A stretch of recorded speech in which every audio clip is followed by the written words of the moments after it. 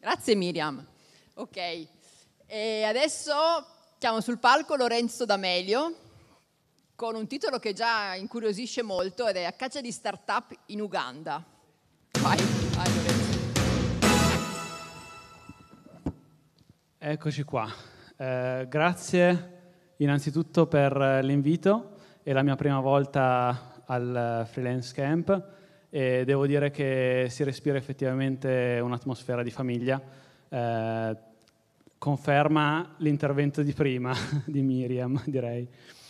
E, um, io um, faccio un intervento che è apparentemente off topic e um, in realtà secondo me c'entra molto e adesso quindi vi parlerò di questa iniziativa che si chiama Startup Africa Road Trip e eh, parte. Ok.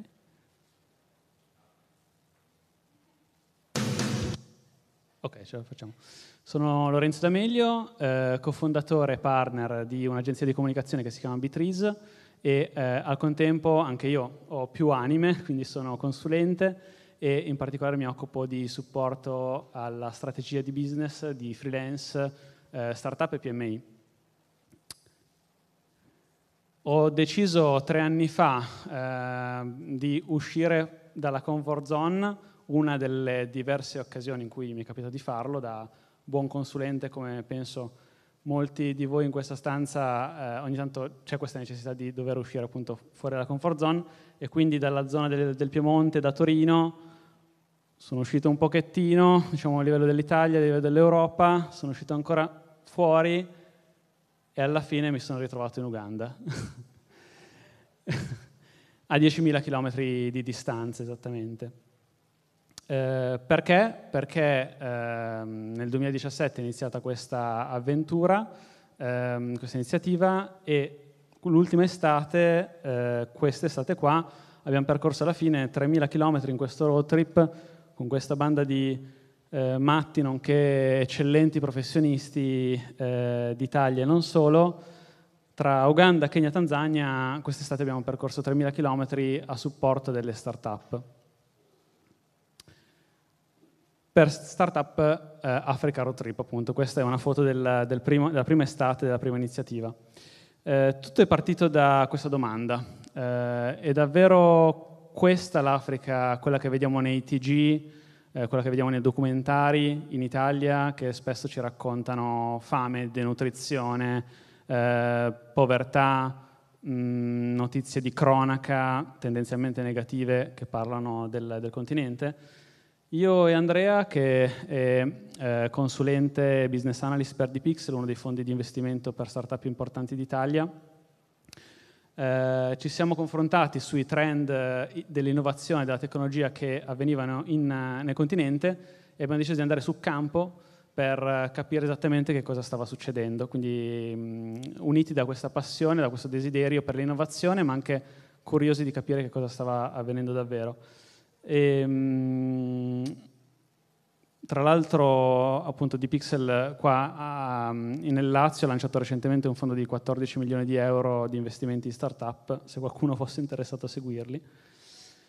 Siamo partiti dal, dall'East Africa per diversi motivi. Innanzitutto contesto eh, linguistico, oltre che politico, abbastanza stabile, e dal punto di vista linguistico c'è l'inglese, quindi questa era sicuramente una possibilità buona per eh, lavorare sul territorio, età molto giovane, età del continente, età media, 18 anni rispetto ai 45 dell'Italia.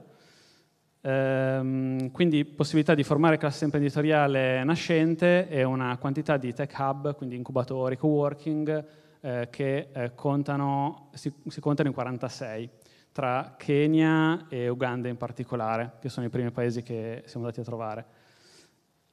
Eh, molte start-up sono ai primi stadi di sviluppo, quindi potenzialità eh, alte di supporto che potevamo dare, difficoltà di accesso al capitale.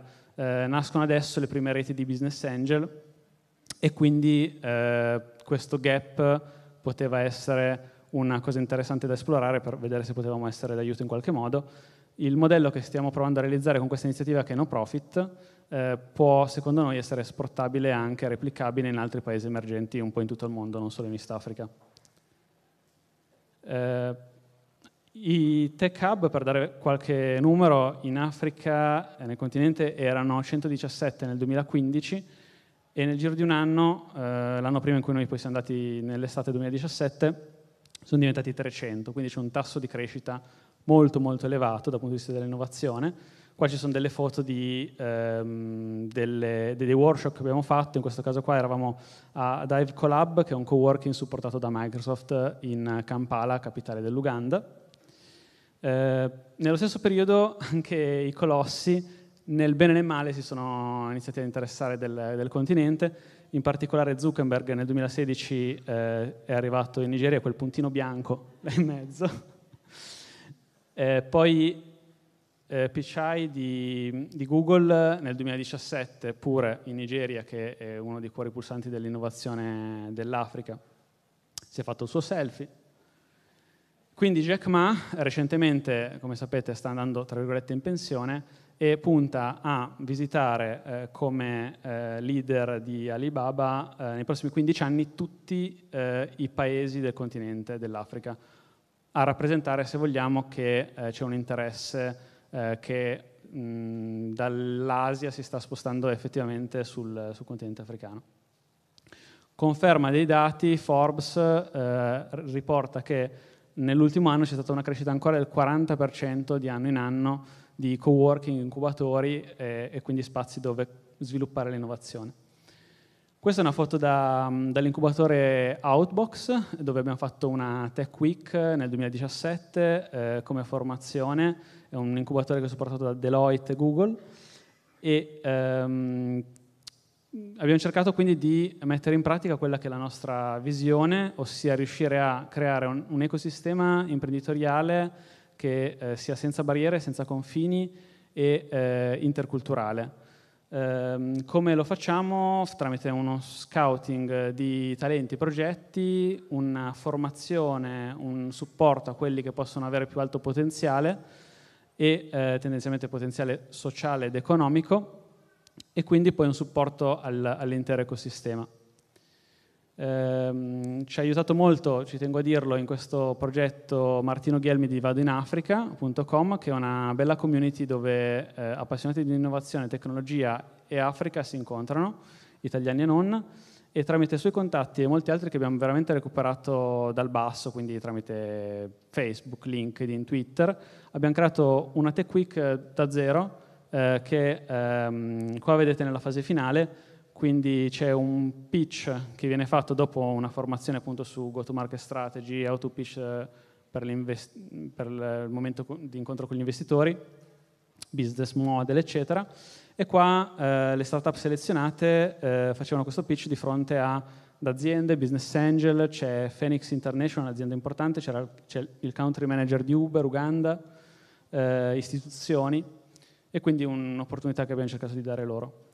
Ehm, qua sempre con il country manager di Uber Uganda e invece in basso alla, alla, dall'altra parte eh, c'è ehm, Mati Babu che è un esempio di startup che mi piace riportare qua come storia perché loro sostanzialmente con questo dispositivo eh, che hanno in mano cercano di unire computer science e medicina per far sì di risolvere uno dei più grandi problemi dell'umanità che è la malaria eh, che miete centinaia di milioni di vittime eh, ogni anno. Eh, come, come, fanno? Passano sostanzialmente da, un'analisi in analogico al digitale, quindi eh, l'analisi non deve essere fatta tramite una siringa, ma tramite eh, lettura infrarossi dei, dei, globuli sostanzialmente, e eh, in questo modo riducono la velocità, riducono i tempi e riducono anche i costi per fare questa analisi, e spesso il problema è la prevenzione della malaria perché eh, sono costi piccoli ma non se li possono permettere in Uganda. Eh, sono stati indicati tra le top 100 startup al mondo da Google Ventures nel 2017. Eh, questo per dire che forse, appunto, lì ci siamo incuriositi e abbiamo detto forse c'è qualcosa che possiamo imparare anche noi. Eh, mentre tornavamo in Italia dal, um, dall'estate del 2017, eh, l'innovazione che incontravamo e, e, che veniva raccontata era ancora più emergente. Quindi, ad esempio, qua ehm, leggevamo dei, dei, Boda, che sono queste mototaxi che ci sono in East Africa, che ehm, sostanzialmente eh, no, permettevano non solo il pagamento in digitale come fosse Uber, ma ehm, anche il pagamento tramite blockchain. Quindi tramite Bitcoin stavano inserendo un pagamento tramite Bitcoin per pagare il mototaxi. Questo nel 2017. Eh, tutto ciò in un panorama di contrasti molto forti, quindi il salario medio, mh, già abbastanza alto se vogliamo, in Uganda è di 200 euro al, pari a 200 euro al mese, e l'età media è un record sostanzialmente mondiale di 15 anni di media di, media, di età in Uganda. Nel 2018 siamo andati a New York, no scherzo, questa è Nairobi, eh, con diversi grattacieli come possiamo vedere, e eh, quindi in Kenya. Eh, abbiamo trovato dei posti co-working veramente molto molto belli, assolutamente all'avanguardia, se non anche più avanti di molti altri posti che possiamo vedere qua in Italia, pannelli fotovoltaici, eccetera. Quindi mh, cose che diciamo, tendenzialmente non, non, ci aspettiamo, non ci aspettiamo di trovare questa innovazione eh, in questi luoghi, per quello che ci raccontano. Abbiamo fatto una formazione, ad esempio, con l'incubatore i Impact, che collabora con l'Università Cattolica di Milano. Abbiamo incontrato iniziative sociali per diciamo, togliere dalla strada eh, dei ragazzi e quindi riabilitarli tramite lo sport. Abbiamo incontrato questo Ashoka che è Jonathan Mativo nella foto in alto, eh, che eh, ad esempio lavora per educare ehm, dei coach che sostanzialmente portano l'ICT nei villaggi, perché il gap tra la capitale e eh, la provincia, se vogliamo, e i villaggi è molto più alta di quella che c'è da noi e ha contribuito ad educare tramite dei coach 75.000 persone nei villaggi del, del Kenya. Eh, altri dati, giusto per ribaltare la narrativa che c'è sul continente, è che il Kenya sostanzialmente è il paese al mondo che ha il più alto tasso di penetrazione eh, per il mobile internet. Quindi c'è un tasso di accesso ad internet che tendenzialmente è oltre il 90% da smartphone, perché hanno saltato eh, la, il, il, il periodo del, del, desktop perché era troppo costoso e quindi una mancanza infrastrutturale in realtà poi ha accelerato con questa energia giovanile eh, tutto il cambiamento. Eh, un altro dato è che se eh, alcuni di voi magari conosceranno Satispay, altre app di pagamento mobile, in Italia siamo tendenzialmente a un milione di utenti di queste app mentre in Kenya, nella sola Kenya, su una base di 48 milioni di abitanti, invece che 60 milioni di abitanti come in Italia, hanno 20 milioni di utenti di M-Pesa, che eh, fa parte di Safaricom, che tra l'altro è di proprietà di Vodafone, ehm, di utenti che utilizzano quest'app e sposta dei punti percentuali del PIL dal punto di vista economico, eh, l'uso di quest'app. Quindi decisamente 20 volte più avanti di noi, se vogliamo. Eh, sempre in Kenya ci sono circa quattro volte gli utenti di Uber che abbiamo in Italia, quindi sono circa 360.000.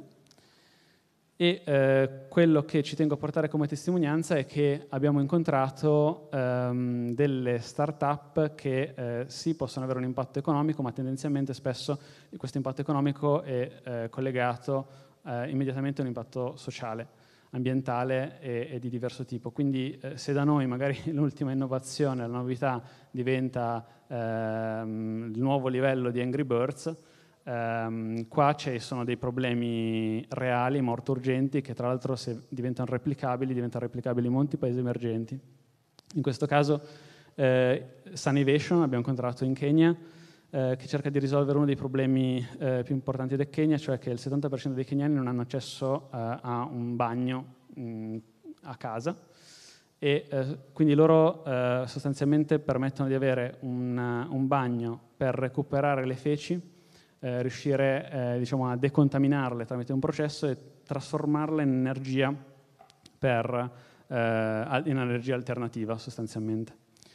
17.000 eh, persone all'anno muoiono per diarrea in, in Kenya e eh, il goal di Sanivation è per il prossimo anno di arrivare a un milione di persone servite in questo modo e poi entro il 2030 possibilmente l'intera popolazione del Kenya.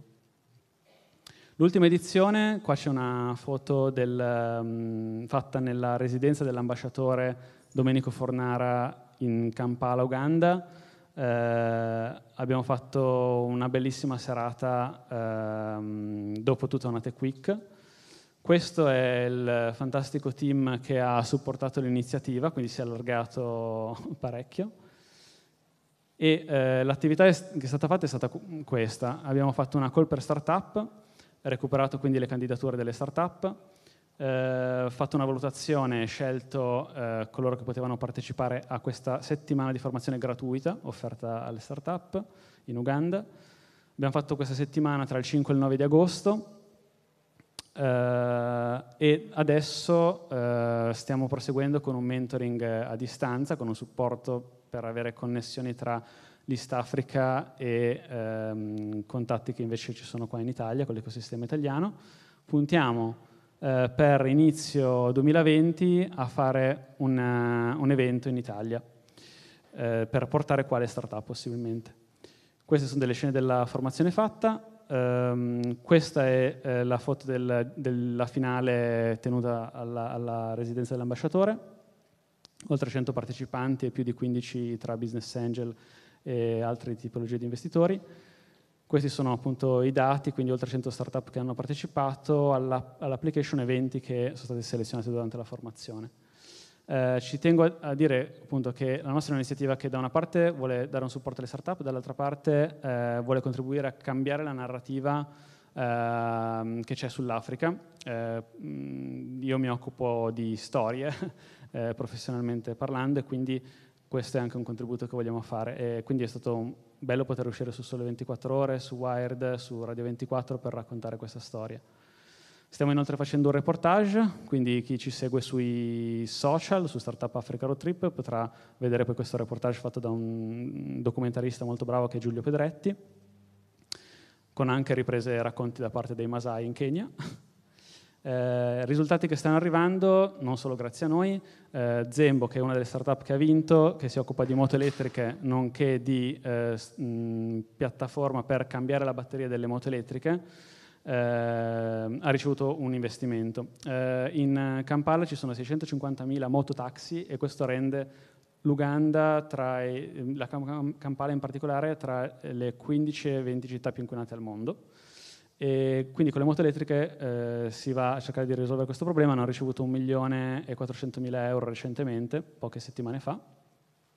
Con una notizia dall'altra parte, di nuovo per parlare di narrativa dell'Africa, che eh, è che mm, la notizia del Ruanda, eh, il presidente del Ruanda sta mettendo al bando le moto a benzina, quindi una transizione verso l'elettrico che eh, potenzialmente potrebbe essere molto più avanti di quello che sta succedendo da noi. Eh, siamo andati infine in Tanzania, in posti altrettanto belli dove magari faremo la prossima edizione. Eh, in queste pillole che vi, vi, lascio volevo riportare di nuovo che eh, un elemento che magari non sappiamo, la Tanzania per dire cresce del 6% come GDP all'anno, con tutti i contrasti che possono esserci in questi casi, ma eh, appunto sono paesi eh, che eh, sono molto frizzanti diciamo, in questo momento. Ehm, non vi parlo delle mie vacanze del safari a caso, abbiamo fatto appunto formazione, ma poi abbiamo fatto anche dei momenti più di, di svago. Eh, e lo dico perché eh, c'è una call aperta, quindi ehm, è un'iniziativa no profit eh, dove mano a mano si stanno unendo consulenti dal 2017, poi 2018, poi quest'ultima estate eh, a fare questa esperienza. Forse riusciremo anche ad avere del supporto da alcuni sponsor per coprire delle spese, eh, però chi vuole può andare sul sito e candidarsi per uh, partecipare alla prossima edizione. Eh, olè, ce la facciamo. Eh, volevo finire con tre spunti, eh, poi chissà se c'è tempo per un video di un minuto, altrimenti lo vedrete sui social. Um, uscendo da fuori dalla comfort zone eh, mi è rimasta appunto impressa questa frase che ho sentito online, che ciò che non ti sfida non ti cambia, quindi è proprio quando si fanno delle ehm, azioni che ci portano in situazioni di potenziale paura o difficoltà o ehm, di impreparazione, che sono i momenti dove noi riusciamo ad imparare. Quindi questo è un insegnamento che mi porta a casa e volevo condividere qua con voi. Eh, un altro mh, mm, spunto è che è la gratitudine che dona la felicità e non viceversa. Spesso noi pensiamo che se siamo felici allora possiamo anche essere grati. E, mh, mm, questa è una foto che mh, mm, è stata fatta in Indonesia, eh, ma per dire l'Indonesia, eh, un indonesiano ha uno stipendio che è un duecentesimo circa eh, dello stipendio di uno svizzero. E quindi così come in East Africa, così come in Indonesia, eh, si va incontro a delle situazioni per cui forse a volte nel nostro correre frenetico da freelance varrebbe la pena fermarci un attimo e capire quante cose positive abbiamo, a prescindere, eh, fin, dal, fin dal lunedì mattina, che è forse il più difficile.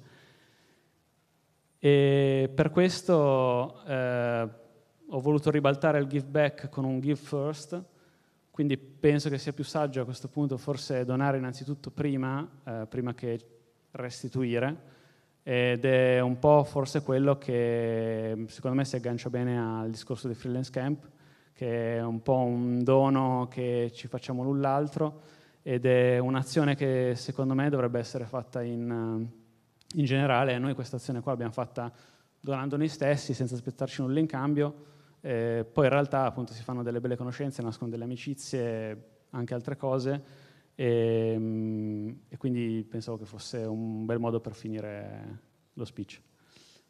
Non so se c'è modo di vedere anche il video, dura un minuto, forse no, non importa.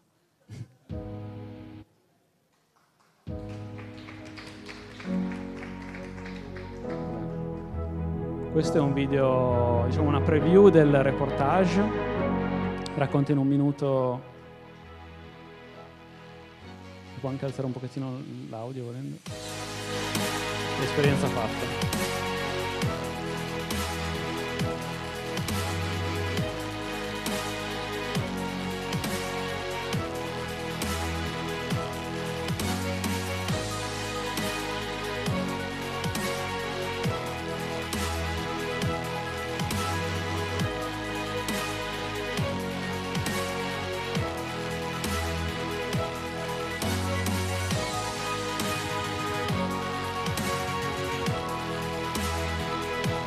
Vari co-working che abbiamo incontrato e la collaborazione era con la Makerere University a Kampala.